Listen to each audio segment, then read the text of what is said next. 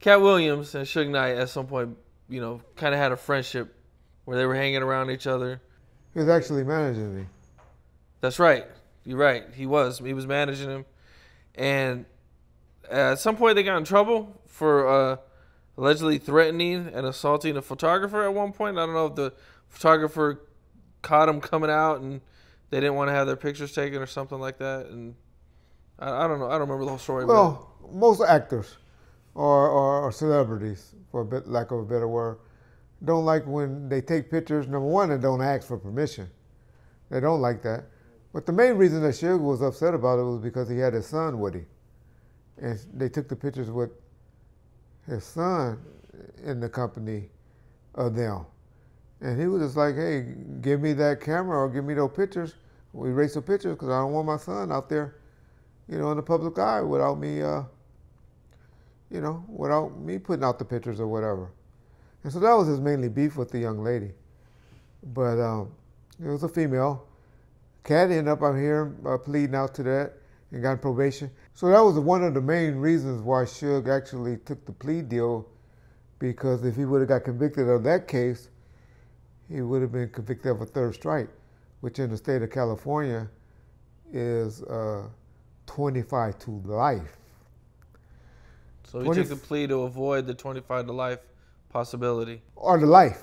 He got more than 25 years, but he didn't have an L at the end. Right, and who's going to give Suge Knight parole? Exactly. Unless you get some crazy governor to come through that with, you know, that didn't know much about him or that grew up on death row music and, and like him or something. But yeah. Right. So uh, that was the deal. The, you know, the deal was they took the camera from the lady. Why they had to do that and take it to that extent, I don't know. But uh, they did have a a better deal. That's why y'all need to get Big C Style. He knows that story very well because he was there as well. And he was trying to get them to allegedly give the camera back that was taken by one of, you know, allegedly uh, some females that was instructed by Suge or Katt. Y'all know Katt history. Y'all know he got some, he's a pimp. he's a pimp by nature. So I believe he had some females that probably did what what they was accused of, but I don't know. I don't know the situation at all. Was there any beef between Bone and Dog Pound or Bone and Death um, Death Row? Because I, I, I ran into a story where Layzie Bone said that Suge tried to punk them, I believe in Cleveland, and Suge kind of jumped. I'm not Suge. Uh, Tupac jumped in and saved him. They probably tried to come backstage or something like that. Uh, I mean, we were in Cleveland at their arena, uh, at the Gund Arena, uh, at a show uh, in the early part of January of '96. That's that little mini tour we had, the Easy uh, reunion tour, it was called. Uh, matter of fact, they got that on tape out there. It's on DVD. for those of y'all that's new to the game that want to go and see that particular show. It was filmed there and in New Orleans. Uh, but if it's something that happened backstage, I was dealing with Sharitha, and we was going to collect the money, so it could have went down there during that time. But yeah, if they said it, it possibly happened. But uh, you know, Suge was hating ruthless at the time, um, and anybody associated with him. It was possible. I don't doubt it. One of the opinions that you had that I was a little bit surprised about uh, was that Biggie shouldn't be in the Rock and Roll Hall of Fame. Can you give some reasons why why you think that? Well, off the top of my head, I'll just tell y'all a great athlete. Because I'm not saying Biggie's not a great uh, rapper. Wasn't a great rapper. I'll give y'all one example. Do any of y'all on here think Bo Jackson should be in the baseball or the football Hall of Fame? College, yes. Professionally, do you? You probably will say, yeah, he should be. One of the first ones to play both professionally baseball and football, and did good. But why why isn't he in either one? Longevity. Didn't do it long enough. Biggie Small had two albums that did good. Life After Death and Ready to Die. That's it. That's it. Over a, a, a two year, three year period. Y'all want to put him in the Hall of Fame? Two records. No, y'all only put him in the Hall of Fame because y'all like to do that bullshit. When y'all do something for Tupac, y'all want to do it for Biggie. Radio stations, everybody want to do that. They play a, Tupac song, then they feel they got to play a Biggie song. How many clubs, how many parties y'all done been to where the DJ play a Tupac song, then they play a Biggie song. They play a Biggie song, then they play a Tupac song. Put up two fingers in the in the air for, for Tupac. Put two fingers in the air for Biggie. Y'all, y'all, y'all, y'all, y'all want to do that. And that's the only reason Biggie got in the Hall of Fame because Pac got in it. But Pac had seven albums, what, five to seven movies. Might have had nine albums prior to his death. He left us four or five albums after he died that, that still went platinum. Had movies, videos. Pac should be in the Hall of Fame.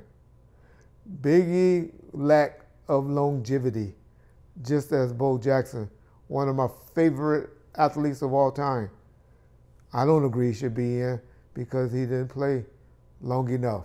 I think Magic Johnson should be excluded for a lot of his accolades. As we put him on Mount Rushmore and all of that, those of us that does, because he didn't play long enough. No, Magic played more than ten years though. He played twelve years. Right. I'm just saying, I, but he didn't do what Kobe, he didn't do what LeBron, he didn't do what Michael, and all of them did. In my opinion, I'm saying, and Michael took, Michael took off years, but he didn't do what Kareem did. And I love Magic. Magic's my second best uh, athlete, athlete after Kobe Bryant. What about his impact though? His impact Who has he was helped? incredible. Who? Lil Kim? She's a blow up doll now. I'm I'm just talking about when Lil he came C's, out. he's a joke. He's up there stripping and doing, taking videos butt naked. We laugh at Lil Cease. Y'all call him illiterate. Y'all gonna give you credit for Jay Z? I bet you Jay Z don't give him credit for him. So accolades, who? Who? No, no, no, no, no. Impact, bro. His impact on music, what he did musically, and the impact that he had. You don't think that, Told you my opinion. that that's No. big? I don't think he had two albums. We got it's a lot shit. Where's Coolio? Okay, now you want to put Coolio in the Hall of Fame? Coolio beat Biggie and Tupac out that year for album of the year with the MTV Music Awards. LL. He beat LL. Biggie and Tupac out in 95, 96 for uh, MTV uh, Music uh, Video Award. But y'all want to put him in the Hall of Fame now? So what's your what's your point? He had three good albums because I'm counting. I'm counting three because I'm giving him credit for the double. That's all. That's it. Ready to die. So two million up until until streaming and all of that started coming on. Once streaming and all that came on, then it went up. Y'all think because they put out all of those remixes that all those songs was on Ready to Die. Those were singles that Biggie that y'all bumping to. Go pull up the album. Go pull up the original version of the album, and then say, "Ooh, where is uh, where is One More Chance? Where's, where's, where's that song at?" They were all singles. Right. The Remix. remix. the remix to One More Chance came after the album. Yeah. It wasn't on the album. But that's what we look. That's what we think about. Cause that's the video. That's the song that we was bumping to really from Biggie. It wasn't on, even on the albums. Think about it. But I'm hating because I'm West Coast nigga, ex popo police guy. And what he know? Y'all think about it. Think about it. East Coast people, because y'all the only ones gonna be, oh, he don't know what he talking about. think about it. Longevity is all I'm saying. I'm not saying he wasn't a great album. Uh, y'all put have y'all put Nas in the in the uh, Hall of Fame yet? Nas got more albums than Biggie. Nas should be in the Rock and Roll Hall of Fame. Absolutely. Have y'all put him in there yet? No, y'all did. Y'all put Biggie in. All right.